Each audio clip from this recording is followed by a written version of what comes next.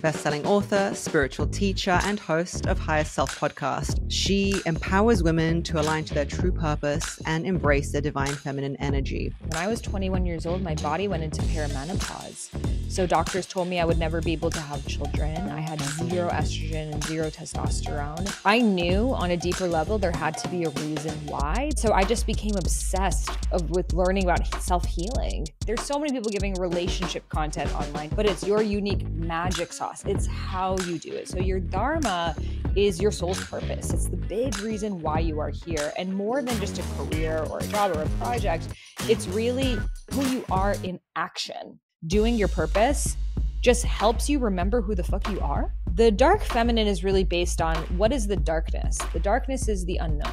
And the unknown is very scary for most people. Like right now, if you're listening to this, when you tune into the energy of the unknown, what does that feel like for you? Today, I'm thrilled to welcome Sahara Rose, best-selling author, spiritual teacher, and host of Higher Self podcast through her books like Discover Your Dharma and her community, Rose Gold Goddesses.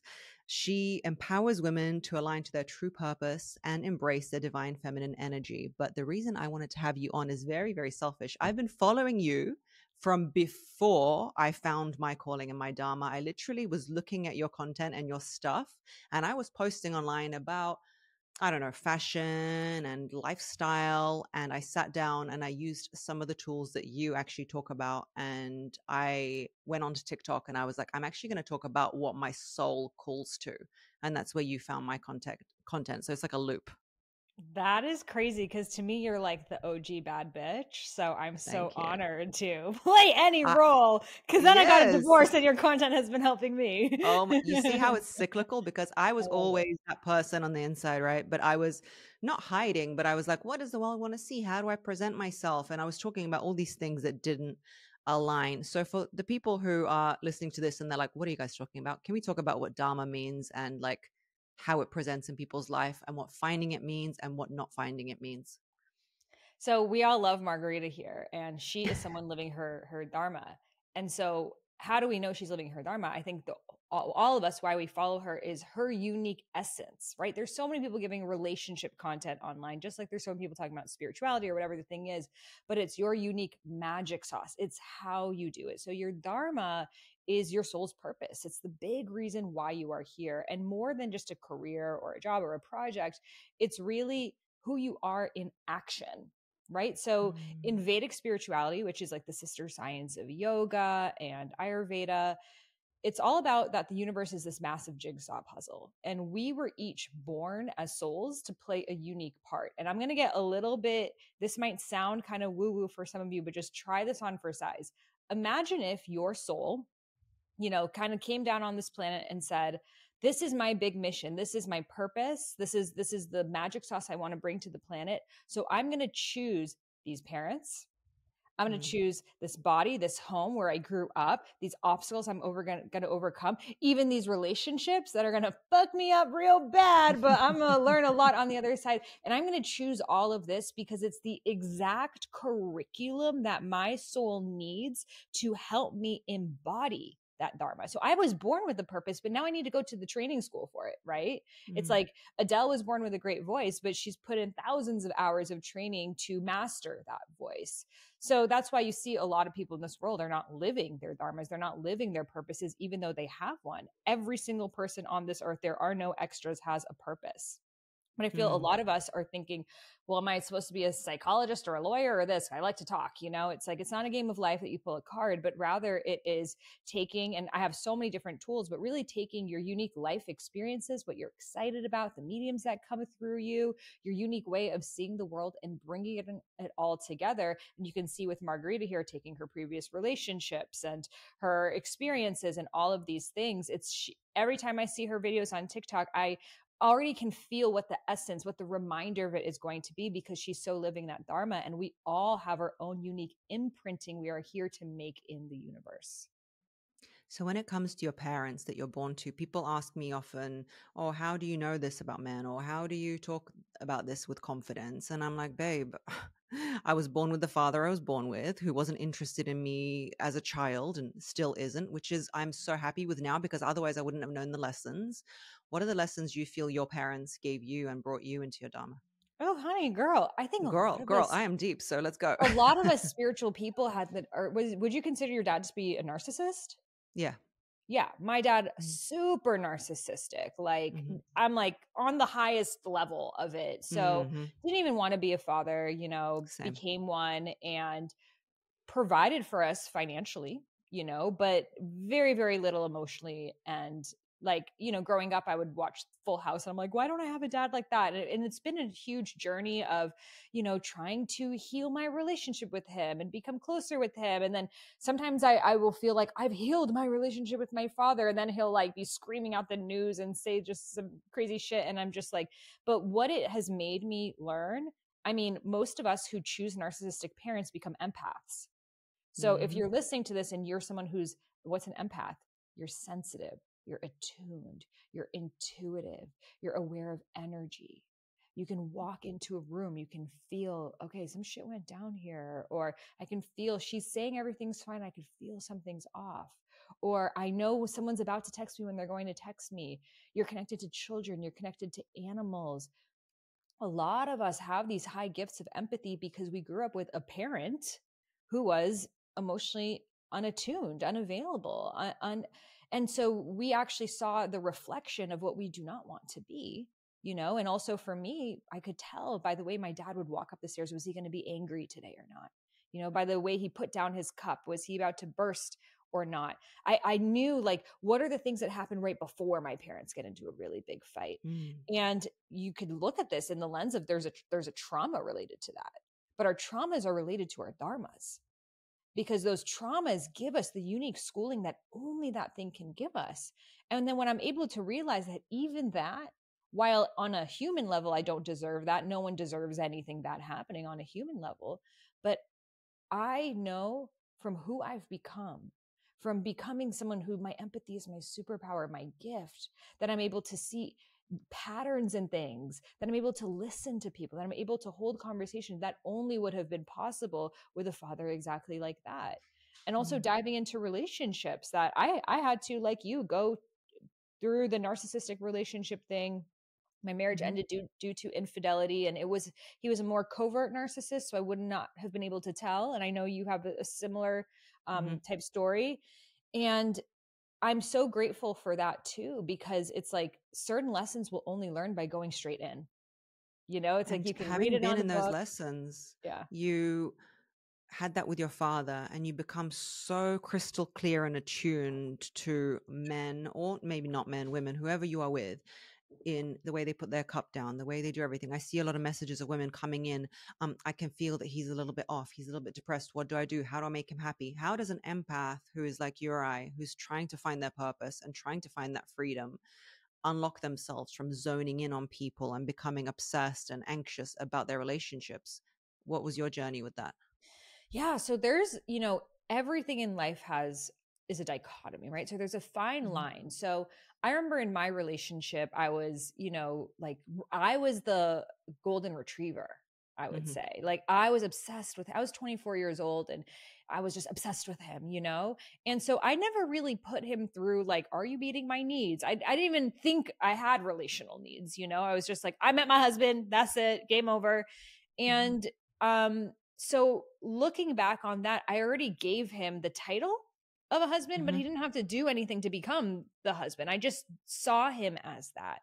And I would say also, I mean, I thought he was going to be the opposite of my father because he was more attuned to how I felt compared to what I had experienced.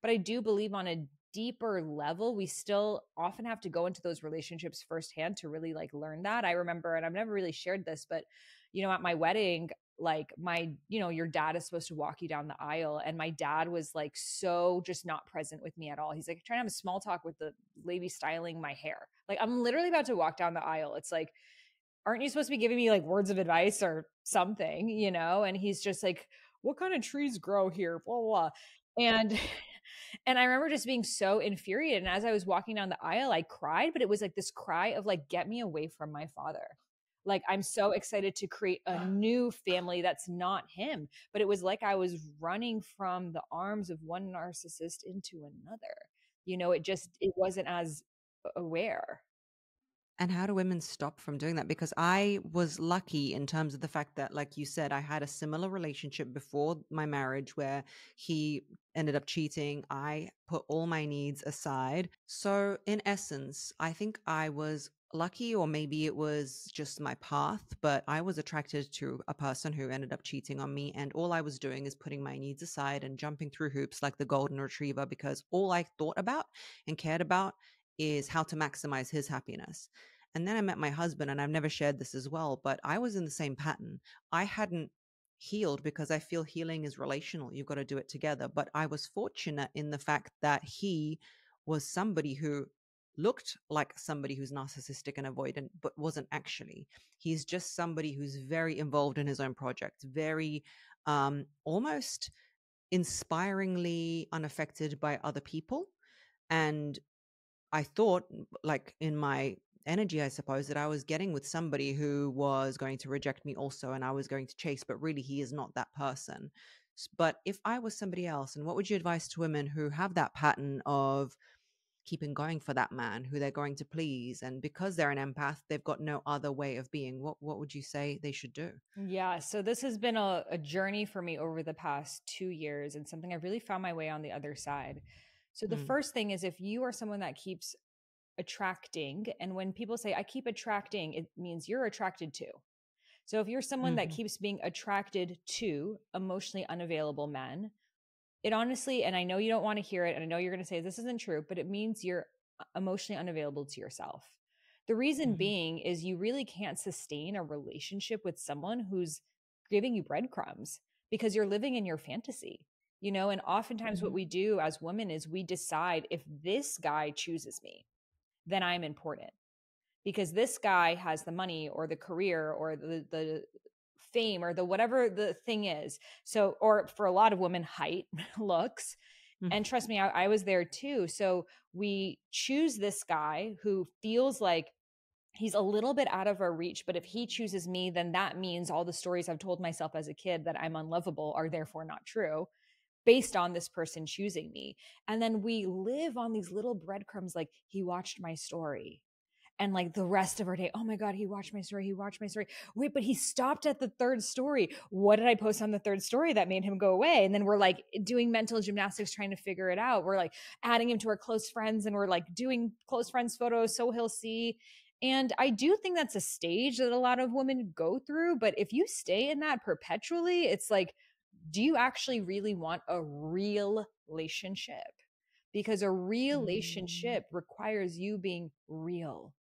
And so my journey really showed me all the ways that I was not presenting myself as real. I was presenting myself as this dream girl who was perfect and low maintenance and chill and this and that. And and also i think what happens a lot of times after a breakup is you have like your glow up you know so for yes. me i was just like presenting myself like hair makeup lashes like everything amazing but it was actually through sitting with plant medicine of ayahuasca that it showed me it was like how is your man even going to find you when you're not even showing what you really look like and it's only until you love that little for me 11 year old girl that was mm. the time of my life that i felt fat ugly. My parents were fighting. I had a crush on this boy. He didn't like me back. That was like, you know, when there's a stage of your life you when you look at the childhood pictures of, you're like, ew, I was ugly then. That was my stage, and I know we all have it. And it showed me until you can genuinely love that 11 year old girl in you and the parts of you that are still her. When you feel like you've gained weight, when you feel like your cheeks are too red, when you feel like, until you can love that, how do you expect someone else to love you? And it also showed me on mm-hmm. a deeper level that unconditional love that I was desiring so deeply is not a, relation, a romantic relationship. It's the love of a mother. Mm. And I was mm. wanting someone to love every part of me, my shadows of me, my this, my that.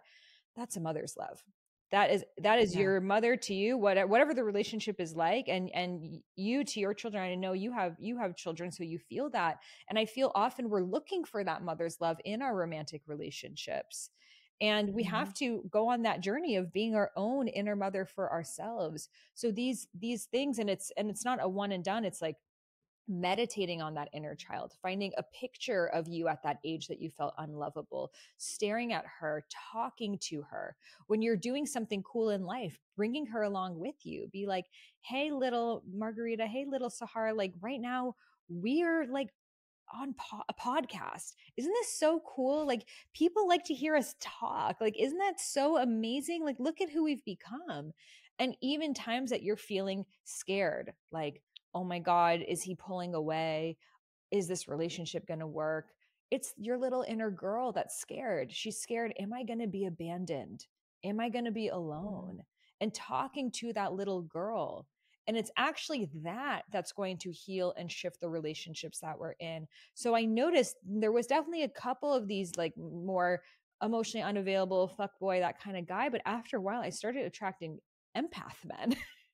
like men who are mm. very attuned to needs very and then that was another mirror for me of like whoa whoa whoa this is a lot you know yeah. and more recently starting a new a new relationship and like just this morning for example i was feeling a little bit like and and right now he he he lives in another country and blah blah but i was feeling a little bit like for me mornings are such an important time to connect and he's in a different time mm-hmm. zone so it's just like we're on a different connection so i went into like in my notes app writing the breakup letter. you know, yeah, yeah, this yeah, isn't yeah. going to work out. like going straight it. into that. and then I actually just played like a meditation and I just connected to my heart. It was my little girl that was so afraid that this isn't going to work out. So let me end this right now because it's probably not going to work out.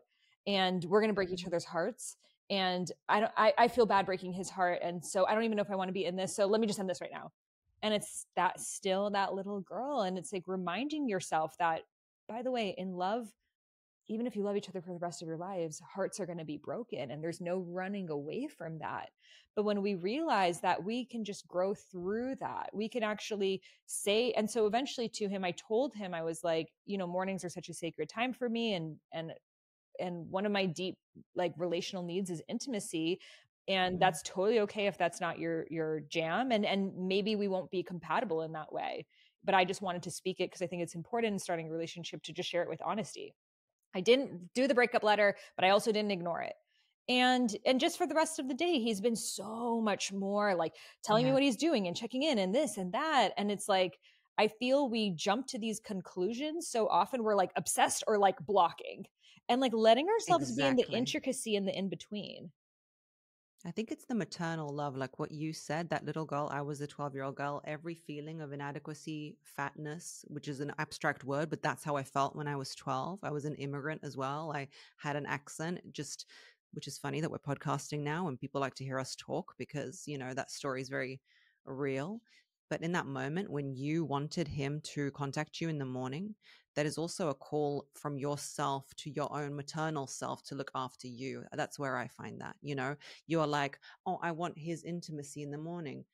Where is the maternal side of you that's going to be there for you? And when I found that for myself, when I was like, actually, I'm good by myself, I'm good to be here for myself, not by myself, that's the wrong expression, but I'm going to look after me. Suddenly people start to come in and you mm-hmm. expressing, hey, I need you to, you know, communicate with me is that maternal love for your, that little girl being like, hey, this little girl needs communication so we're going to do it or or you can miss me with that you know what i mean so that's an amazing story from that empath if somebody is um dating and they're a woman like you and they are so aligned with their purpose it can come across as very powerful.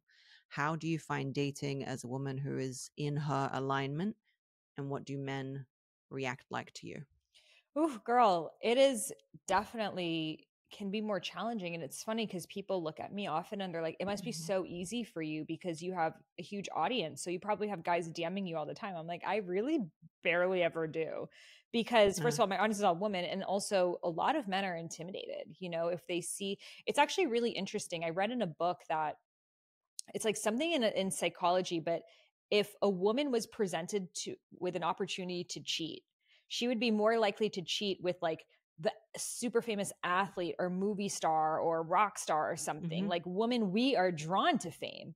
Whereas a man, if he was given an opportunity to cheat between like a Kim Kardashian or like the street cleaner, but she was pretty good looking, he would choose the mm-hmm. good looking street cleaner. So a lot of men actually are quite intimidated by fame because they know that a woman that has more notoriety is going to have higher demands because know, men compare themselves to the woman and she's not looking up to him and men want to be looked up to so exactly. So it was really interesting because i would find myself dimming my light. So mm-hmm. i remember there was this guy i in in london i matched with and i we he was like what's your instagram? and i kind of just ignored the question and then again he's like what's your instagram? I'm like oh fuck you know? So if i gave him my instagram and i saw he followed me and I like muted him from my stories because I didn't want him to like know. Yeah. And I just was like, how eventually I went on a date with him and it was like complete friend vibes. And then I unmuted him from my stories. And in my head, I was like, he's going to think I'm too out there. You know, I'm like dancing. I got music videos. I got this. And he was like, he was like Pakistani. So I was like, he's going to be conservative. I unmuted him for my stories after I realized it was a friend vibe. This guy's my number one fan. He loves everything that I do. And here I went creating this whole story. So I share this because you'll also be surprised by how many men are extremely inspired by it or like that's mm-hmm. so hot that you have your own thing going on you know especially a lot of like really powerful men they don't want a woman who's like constantly doting on them and you know why didn't you text me back and they don't they don't have time for that you know so Correct. a lot of like the person that i'm seeing right now very very successful man, definitely in his alpha man. And it's so attractive to him that I'm like, it's like power couple, you know? It's like you could bring mm-hmm. me around somewhere and I can hold a conversation. And and I mm-hmm. think that it it's also really necessary for women to have her own dharma because we can get so caught up in our emotions. We can get so caught up into micro analyzing the situation that happened. And sometimes it's like doing your purpose just helps you remember who the fuck you are and then you come yeah. back to it with so much less of that fieriness. Yeah. A lot of girls who are struggling and women are, it's because they don't have that Dharma and that path and the purpose. Let me tell you, sometimes I want to fixate on stuff too. I want to be like, why didn't he text me? Even with my husband, it just, you just start to cycle. But then I've got to be here on this podcast. I've got to do this. People are waiting. I'm, you know, and I'm like, ah, forget him. And then suddenly he reappears all excited and happy to be with me. And that's always the way it works when it comes to feminine energy, I get this question a lot, and I just wanted to um, talk about it with you. Building a business, but being in your feminine energy, are those two things mutually exclusive, or can it happen? Do you have to go into your masculine and be very driven to make it happen because you are prolific in what you've done?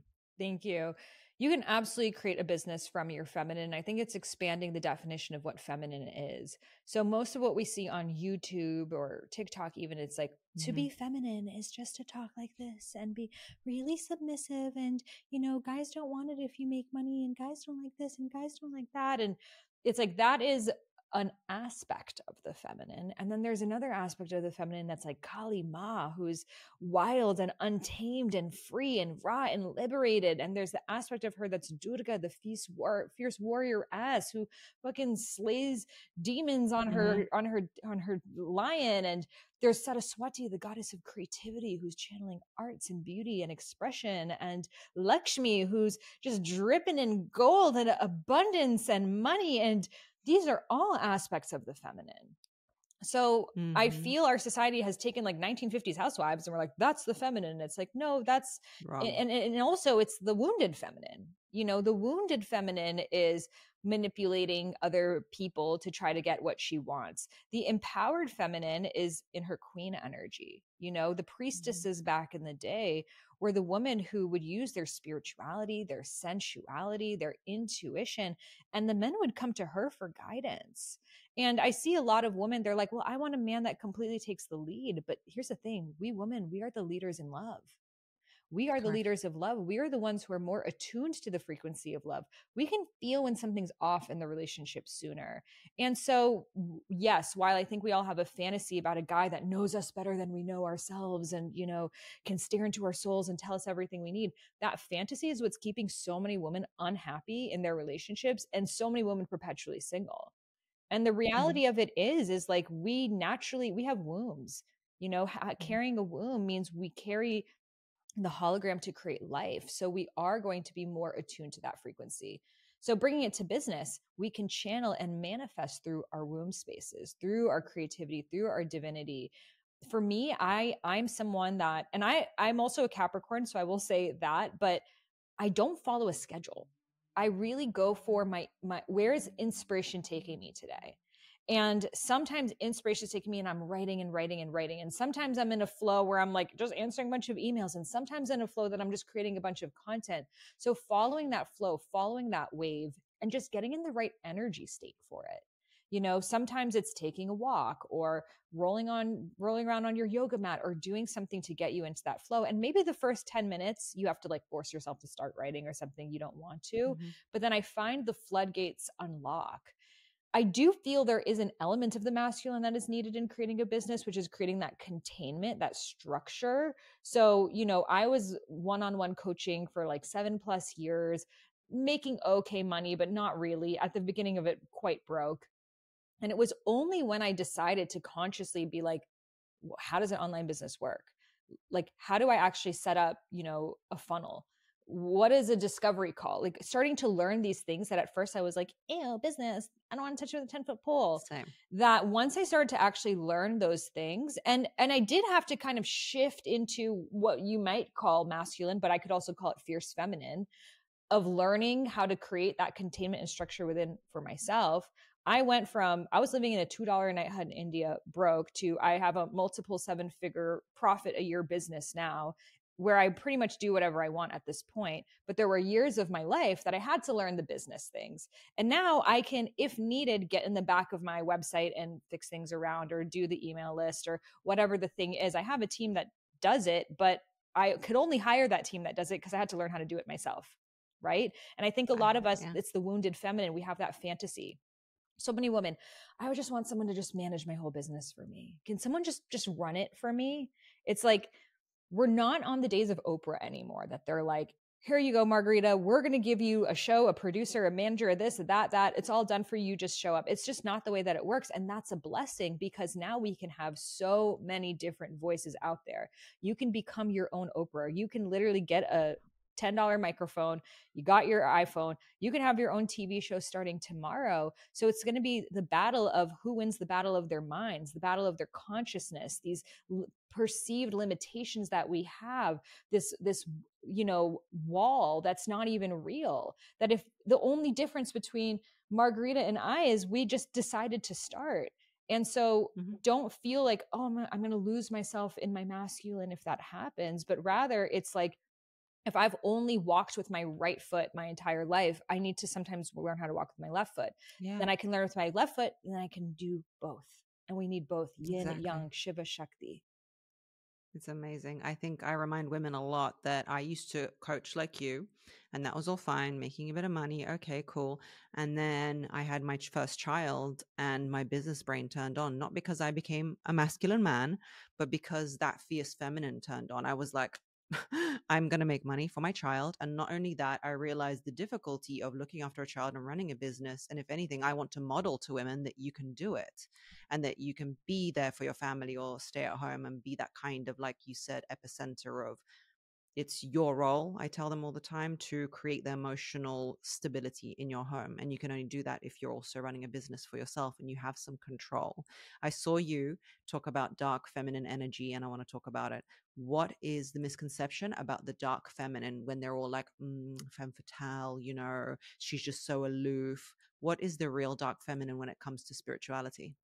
I feel you really embody dark feminine energy beautifully. Mm-hmm.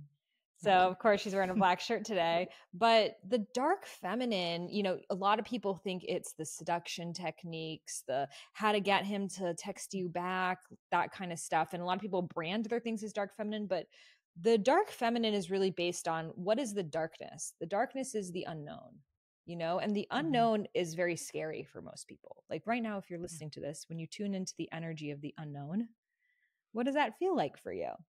Mm-hmm so, what does it feel like for you, Margarita? Unknown. comforting for me because I'm Mm. quite used I, I like the I like the feeling of the unknown. It's comforting for me. It makes me feel safe. But that's from working on it for a long time. Like a true dark goddess right there. Yeah. so most people, the unknown is scary as shit. Yeah. You know, it's like, oh my God, like I would rather be in a comfortable cage that I know every corner than in an unknown thing that anything can Mhm. happen. But if Better any, the devil you know. right, Mhm. exactly. But if anything can happen, then anything can happen. It's limitless possibilities. The dark void is the dirt, it's the soil, it's where all life grows from. It's the space, Mhm. it's the cosmos, it's where this the solar system and the galaxies are born. It's the womb, the hologram that has created all life. All creation comes from the dark. So a woman in her dark feminine energy is in touch with that. She's not afraid of the shadows. She's not afraid of the pain. She's not afraid of those periods in her life where the rug is swept under her feet because she's like, bitch, now I got a flying carpet, you know, because she's learned Mhm. that. She's gone through dark nights of the soul. A dark night of the soul is when oftentimes your biggest nightmare happens. You're, you're thrown into the abyss. You know, for me, finding out about the infidelity in my marriage. For someone else, it could be a health crisis. For someone else, it could be whatever the thing is, where your life was going one way, wasn't perfect, but you're okay with it. And then the universe, out of love, said, You are capable of so much more. And mm-hmm. because you're not going to make this change in your life, I'm going to get involved. And even though Yes. this feels like the worst thing that's ever happening, it's going to be the best. And everything you genuinely want is on the other side of this unknown.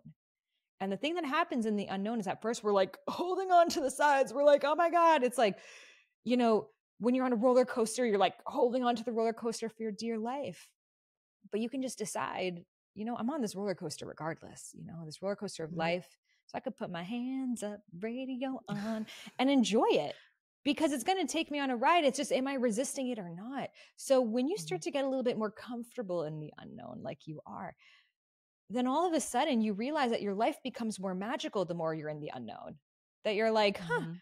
I thought this was going to work. I guess it's not working. Must be something better because it only gets Mhm. better. That's just what it is. I keep getting hotter. My relationship's getting getting better. I keep getting richer. Everything just keeps getting better all the time. And so it is. And so if you decide, and so it is, that's what it will be. You know? So when I mm-hmm. found out about the infidelity, even though I had zero evidence of this, I said, this will be the reason why I have the greatest love of all time. Whereas most people will say, this is going to be the reason why I can never trust again. This is the reason why I'm going to have post traumatic betrayal, PTSD. It was crazy the Instagram ads I was getting. I was like, oh my God. I. And then I was like, nope, this is going to be the reason why my heartbreak is going to be the reason why my heart will open more than it ever has before. And Mm. even though I had no evidence of it, I was in that unknown. And when you're in the unknown, spirit starts to speak to you a lot more. You start to notice all these synchronicities. It's like someone sends you a message that's exactly what you need to hear. Maybe you listen to this podcast. You don't even know, maybe it's your first time ever listening to this podcast, and it's like speaking to your soul right now. And this is all your highest self, which really is a future version of you on your highest timeline, giving you those mm-hmm. breadcrumbs that are guiding you. So, being in your dark feminine energy is being aware of this and realizing that the shadows, the unknown, is actually going to bring you towards everything you ever really wanted. That's incredible. I mean, I just want to round out and say if you want to know more about Dharma, you can go on your websites. But I found you through Ayurveda. And I want to touch on it for, for myself selfishly because I think sometimes when you're not in your alignment, your body speaks to you through not necessarily illness, but discomforts, back pain, whatever it is. And could you tell me a little bit about how you started, how you began um, talking about doshas and what they mean, just so I can learn more about it? Thank you. I started for because of my own health challenges. When I was 21 years old, my body went into perimenopause. So doctors Mm. told me I would never be able to have children. I had zero estrogen and zero testosterone. And because of that, I would have osteoporosis and be on tons of prescription medications from antidepressants, hormone replacement therapy. The list goes on. And I knew on a deeper level there had to be a reason why, but they just said, I don't know, sometimes this just happens. and so i just became obsessed of, with learning about self-healing and that brought me to ayurveda which is the world's oldest health system and the sister science of yoga based on the mind body connection. And what drew me to ayurveda was i took a quiz and i can share my dosha quiz but when i took this quiz it described my personality. It was like you're creative you're artistic you think outside the box you're idealistic you love to travel. But also like you can overthink and get anxious and have insomnia.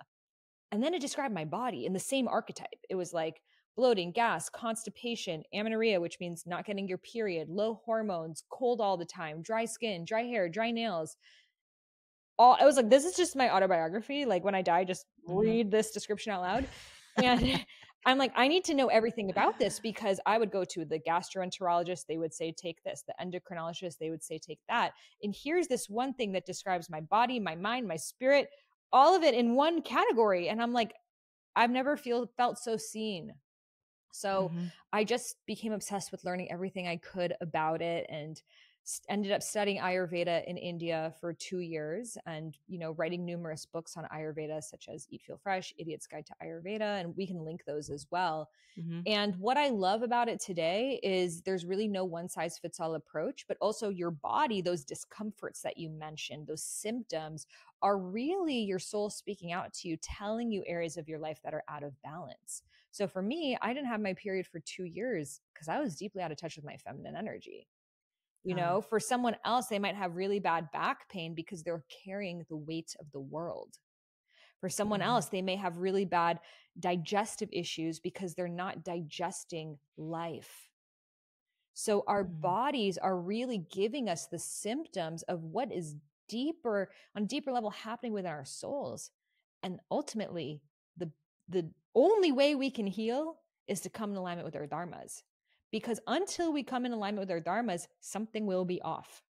Spirit will always be nudging us you know before i started my podcast my i would get these horrible throat pains. I would cough and spirit was like speak girl speak speak. But i was like i'm afraid i'm a writer i'm not a speaker. And then even at the beginning i would write down everything i wanted to say and read it off the piece of paper you know because i didn't trust hmm. myself yeah. in speaking and ever since i started the podcast i've never had any kind of throat issue again so I share this because we so focus on the acute issue, but everything has a deeper spiritual reason behind it. Can you just share with me the three doshas, just for anyone interested, and Absolutely. what they present like? And can you tell from looking at a person what they are, aka me? Yeah. So three doshas. The word dosha means energy. So they are mm-hmm. vata, which is air, pitta, mm-hmm. fire, kapha, earth. So a mm-hmm. person that has air qualities. So if I was like, oh my God, she's such a airhead, well, mm-hmm. how would mm-hmm. you describe this person? Like the typical blonde, sorry, blondes, airhead, you know, flitting around, doesn't know what she wants, you know, confused, trips over. Right. That kind of person. Exactly. Head in the clouds, space cadet, you know, we have language for it. Mm-hmm. So this airy person, likely they're going to be, you know, on on the good side, they're creative, they're artistic, maybe they have a cool style, they're always changing things up. Maybe they live in like Venice Beach, LA, you know. But then the mm-hmm. other side are the things you mentioned. Maybe they, you know, have a lot of ideas, air. It's like a tornado in their thoughts.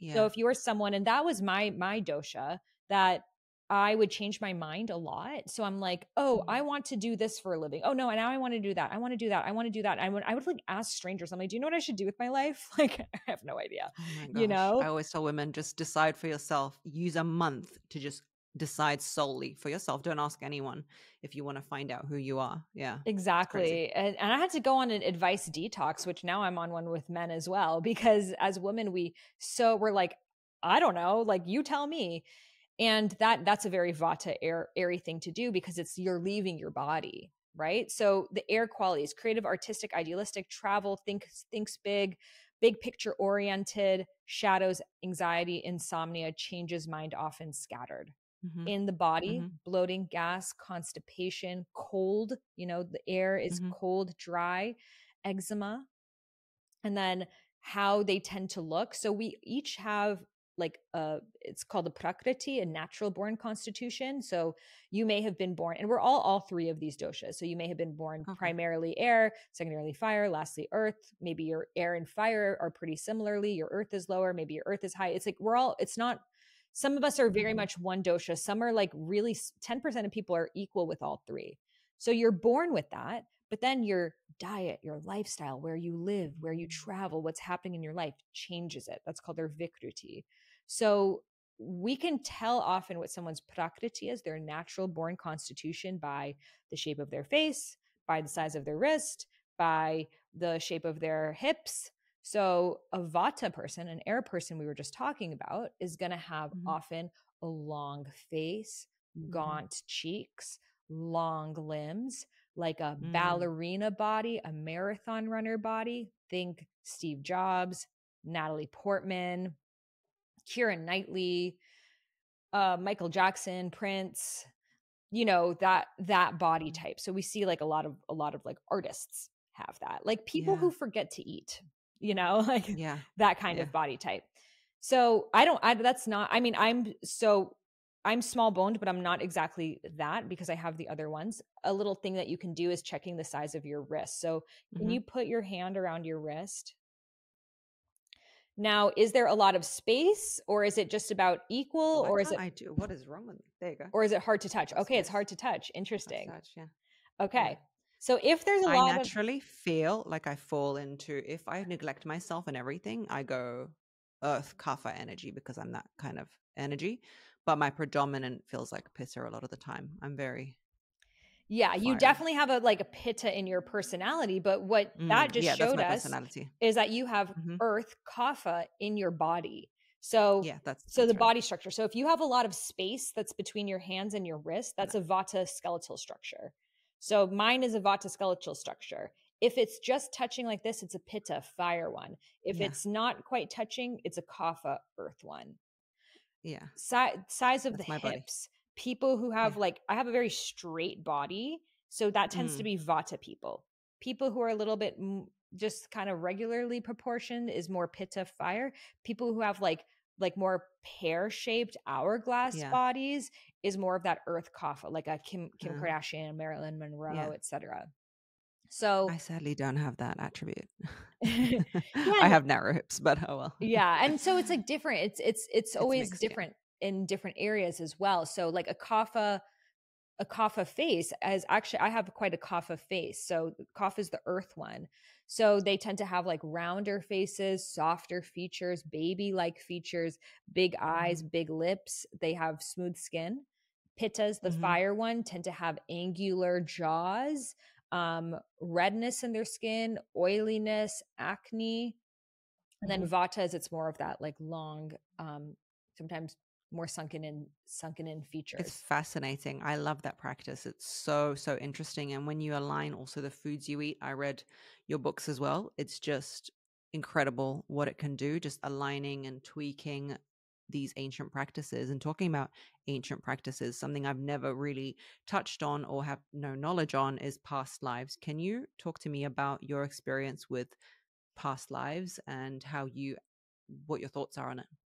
Ooh, so past lives are one of the big things that brought me into my spiritual journey. So I believe, and in, in Vedic spirituality, it's it's none of our first rodeos here, you know, especially if you're listening Mhm. to this podcast. Like you've been on this planet before. This is not intro level shit right here. So our past lives are aspects of ourselves that on a higher level are simultaneously happening right now. So how do we find them? What historical periods are you drawn to? What countries? Are there is there any music when you listen to music from that culture? You just come alive. You watch a movie that's set in this time period, it feels like you've been there. Or maybe you've gone into a home or somewhere and you're like, oh my God, I've been here before. Maybe it's just a certain practice really resonates for you, a certain dance or a language came through you very easily. So I know some people, French came very easily for them. They love Paris. It's like walking down the streets of Paris, it feels like they've been there before. Other people, Mm. they are so repulsed by Paris. And the last thing Mhm. they want to learn is French. It feels like some shit maybe went down there in a negative way. You know, some countries you're really drawn to, some countries you're repulsed by, some countries you're neutral by. So for me, I'm Persian in this lifetime, but so deeply drawn to India. I mean, even my career has really been sharing Vedic Yes. So many past lives in India. Like, I mean, my my college boyfriend was Indian and lived in India. And when I'm there, I'm just like, even though people often are like, India is so chaotic, it feels like home for me and all of this wisdom almost feels like secondary for me like when i was writing my books i would often just look out the window and my fingers would just type and i didn't even know what i was writing and it would be like the gunas the subgunas like very specific vedic information was coming through me that i was channeling from my past lives. So start to write down like these historical periods characters and then start to create archetypes. Like if i were an archetype in that time what would it be? You know was i um, a 12 year old girl who is dancing and drumming in Kenya with this big wide smile? Was I this samurai fighter in Japan who, you know, only mm-hmm. wanted to fight for good? Was I, you know, and start to create these mm-hmm. different storylines for yourself. You can even give them names. And I find that often, like, our interests will shift us towards different past lives. So, and we have, and it's infinite past lives. We can't really quantify it, but I find in this lifetime, there's a couple lives that you're really working with, you know, like, and there might be mm-hmm. periods of your life that you're like really channeling from that lifetime. So maybe you go through like a bachata dancing phase and you're really channeling from that like lifetime you've had in Dominican Republic or, you know you are working a lot with shamanism and plant medicine you're channeling from your life life as a mayan indigenous elder or you're being called to egypt and egyptian mysteries and you're channeling from your lifetime as an egyptian priestess so i find the more we have access to them they start to take us on a journey and we start mm-hmm. to they it's like unfinished business from that lifetime that we're here finishing. Mm-hmm. So we're getting support from that lifetime. We already have a huge level. So like spiritual people, we call they call us old souls because we have been studying this wisdom for so long, for so many different lifetimes that we're our starting point is where people a lot of people will never even get to. And we can go into soul ages. Like there are some infant souls here on this planet who it is like their first kind of couple lifetimes that it's all about survival. We've got young souls where it's all about like my wants, my house, my country, my flag, yeah. mine, yours, good, evil, right, wrong. If the church doesn't say it, you can't. It's like that kind of thinking. Mm-hmm. I think we mm-hmm. can all recognize that. We have mature souls who are like, wow, like when I go to the museum, I feel some kind of way, but I don't really know what it is. Mm-hmm. But you know, oh, I like the, the, opera, you know, and it kind of is like they are drawn to arts and literature, but it doesn't really have a spiritual side to it. Mm-hmm. And then the old souls are like asking conversations like this, like what is the meaning of life and, and yeah. noticing these parallels. So we can also see how evolved our souls are from the contemplations that we're having. It's funny. I was sitting with my mom and she was annoyed about something and she vis- visibly shows that she's annoyed in her face. And I'm like, why are you showing me? Why are you showing that you're annoyed? She goes, what do you mean? Because I'm annoyed. And I'm like, yeah, but how's that going to change anything? Like, it's not going to change the circumstance. Like, nobody's going to watch your face. And then, you know, I have these contemplative questions. And she's like, what do you mean? But I'm annoyed. And I realize in that moment that the questions we have in our heads are completely, because to me, something annoying happens, sure, show that you're annoyed. But to be in that state is hurting you more than anybody around you. Nobody cares, right? And it's just that contemplation of like, the soul journey in that time. It's so interesting, especially when your parent, I love you, mum, might be a younger soul than you, you know? Our parents are always younger souls than us. Our children, Ooh, our children okay. always are going to be older souls than we are. So your children are going to look at you in some kind yeah. of way. Like, uh, a, yeah, I can, he's already evolving. looking at me like that. I'm like, yeah. gosh, okay, okay. That's so interesting. Tell me more about that. So consciousness evolves, so our children are more. Yeah, so there are these um, things called yugas. It's like mm-hmm. universal. Mm-hmm. It's like larger periods of like ten thousand or so years, and they'll have different frequencies that mm-hmm. the planet is in.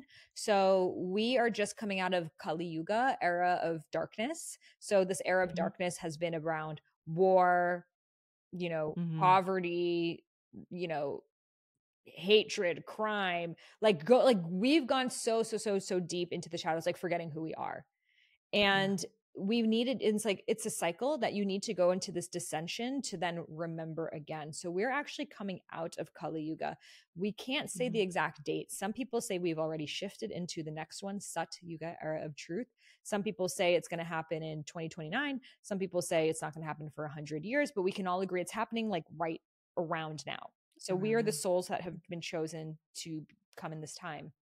And so we're kind of the cleanup crew that we were meant to come in in this era of darkness to see the darkness and to usher in this new way of being that's why they call our souls like the volunteers you know like mm-hmm. we're doing a lot of just like the muck like the setting the foundation for the new earth like the people a hundred let alone 500,000 plus years from now are going to look at us like, thank you guys so much. How'd y'all do it? You know?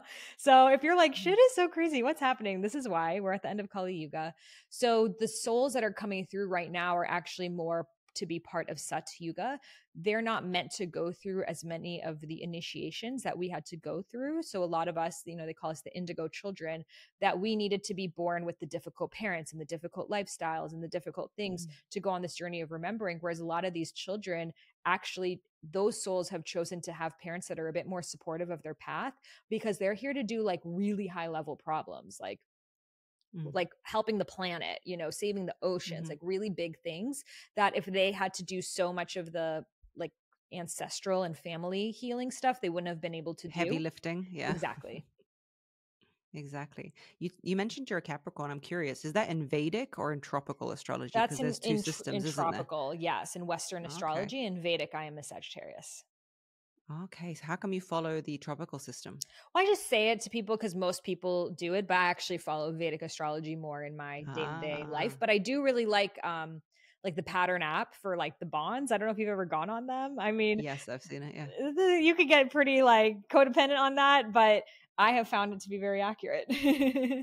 I um I'm a Virgo in tropical and I'm a Leo in Vedic, so completely different. What do you, you know, feel more energies, like? So um, I have the Leo essence in the Vedic sense of like honoring what I said, being very um, protective over people I love and things like that. I'm forward camera facing, but uh, my mind is a very Virgo Mercury mind, so that I like to think a lot. I like to analyze situations, and you know what I mean. It's a very like analytical mind. So both, but I don't know.